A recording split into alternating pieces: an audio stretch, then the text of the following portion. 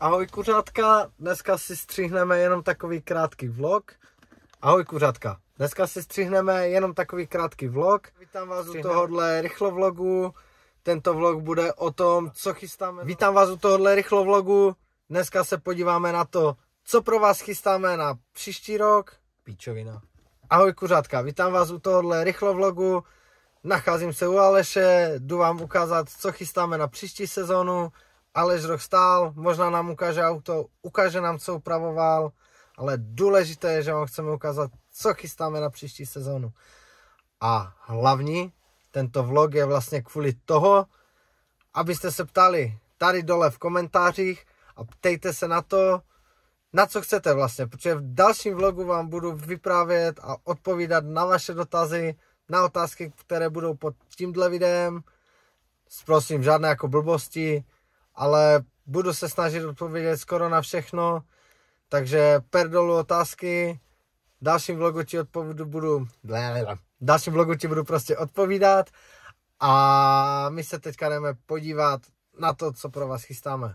Pro vás, no vlastně chystáme to pro sebe, ale možná vás to bude zajímat. Sleduj. Tak, a my už jsme u Aleše, už jsme na garáži a to je ta věc, o které jsem vám říkal. Ale to ještě není všechno totiž. To bude ještě jako pokračovat jako dále. Ale teďka budeme muset zavolat klukům, jak to máme udělat, aby už jsme to mohli odvést. A no prostě bude to celé, tady tohle, ta část bude celá laminatová.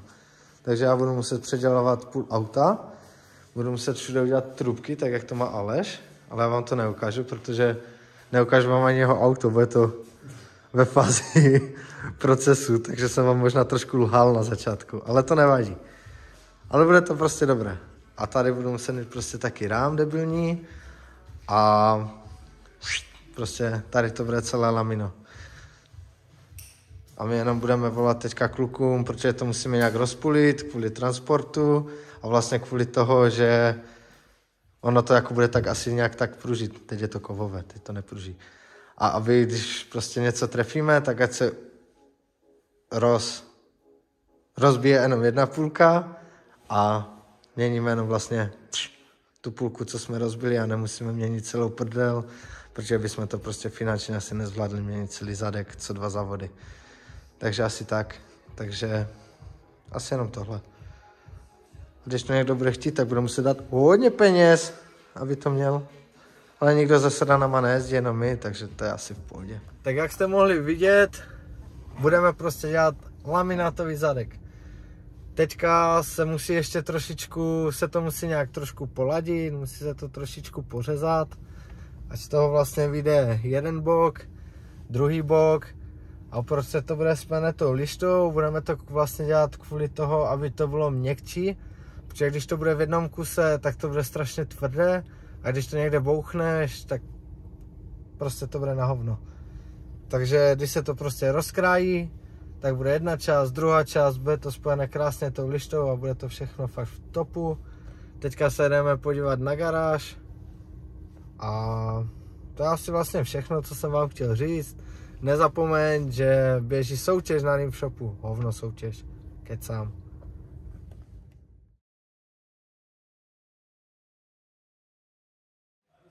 Tak a se pojít na novou garáž, tu jsem vás ještě nevzal. Zubko maká jak šrubek někde nahoře. Aha. Zubko nemaká jak šrubek.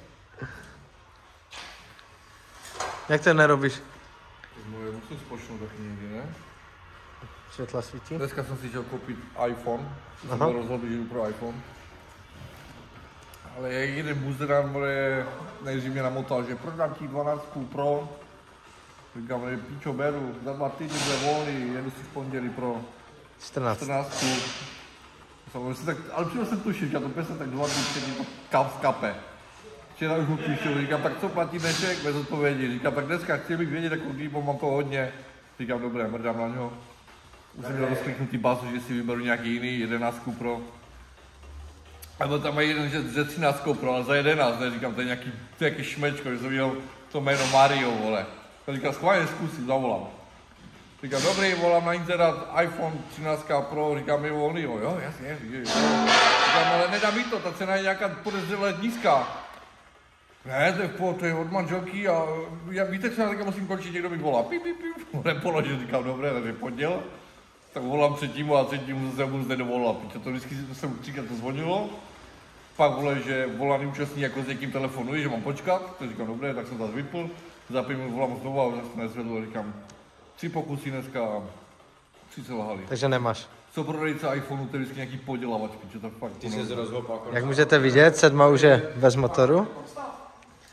A já vám jdu ukázat, co mě čeká. Tady je můj prdeláč, který je z ohly. Tady moje felory. A tady vlastně tohle všechno se bude muset dát vlastně pryč. Tohle všechno půjde prostě pryč, pryč, pryč. A vlastně tady se to taky bude muset odřezat. Vlastně tady někde pod tou gumou se to bude muset říznout, že celá tahle část vlastně půjde nová. A vlastně celé tohle bude prostě laminátové. A vlastně celé, celý palivový systém, všechno se bude muset prostě předělat. Všechno. Takže jako hodně práce, fakt jako hodně roboty mě čeká. A jinak tady máte naši malbu na stěnou. To je můj originál narazník, to není namalované. Tam je další nastěná malba, tam bude naše patro. Tady podstové auto, abyste nezapomněli, jak vypadá. No, a jak můžete vidět, tak tohle všechno se bude muset vlastně předělat. Celé tady tohle, prostě tady bude muset být jenom nějaký trubkový rám, šup, pár trubek a bude to hotové. A ještě dotaz pro někoho, kdo se vyzná v pravidlech. Tady tyhle pevné spoje, když mám vlastně úplně, úplně, ale úplně všude, nikde nemám žádnou eskapásku, nic, jestli musím mít vzadu příčku za sebou. To mě hrozně zajímá a zajímá by mě na to i odpověď. Prosím, děkuju. Ale sedme, bo tě tady pěkně můžu vypnout. Co ty děláš? Chlapa? Moc? Ukáž? Děláme ten chlapa, chlapa Ty se nezabij nahoře hlavně. Dávej na sebe bacha a buď na sebe opatrný, kluku. Opatruj se, hodně se opatruj. Tak ty jsi taky. Se tím, že ten žebřík potřebuješ právě. Ale jako světla si zabil, jinak. A jak se bude lozit na to patro teďka? Jak o víkendu tam budeme lozit? Po žebříku. Po žebříku? A Váno bude. A kdo spadne první ze žebříku?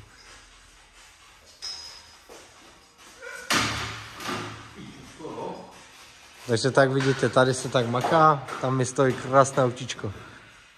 A tady krásný policajt. Bez engine. Míňa zrobnu motor, ne? Vlez tam a dělej.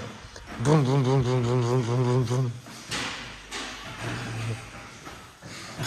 Hej, Zube, už máš koně, hej. Už máš koně pod kapotou.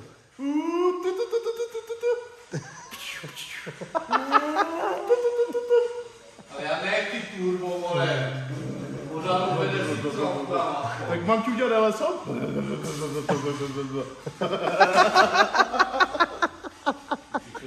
Ještě uslyšíte. Možná se vám během tohohle videa někomu v hlavě rodila otázka, proč to děláme tak složitě, z jakého důvodu to děláme tak složitě. Přece existují e-shopy, stačí kliknout, máš to. Není to tak, na Sedana to nedělá prostě nikdo a neprodává to nikdo. Možná to někdo dělá, ale nikdo to neprodává a a i kdyby to prodával, tak to určitě nebude prodávat s takovýma felonama, s takovým rozšířením, jak to máme my. A to je asi důvod, proč to děláme tak složitě. Děkuji, že jste to dokoukal až do konce. Bylo to takové krátké, rychlé video. Nezapomeň dát nějakou otázku dolů do komentáře. A vidíme se u dalšího nějakého videa. Mám naplánované nějaké videa, co bych chtěl točit. A snad to prostě všechno vyjde a sleduj to, dávej odběr, nevím co všechno. Čus!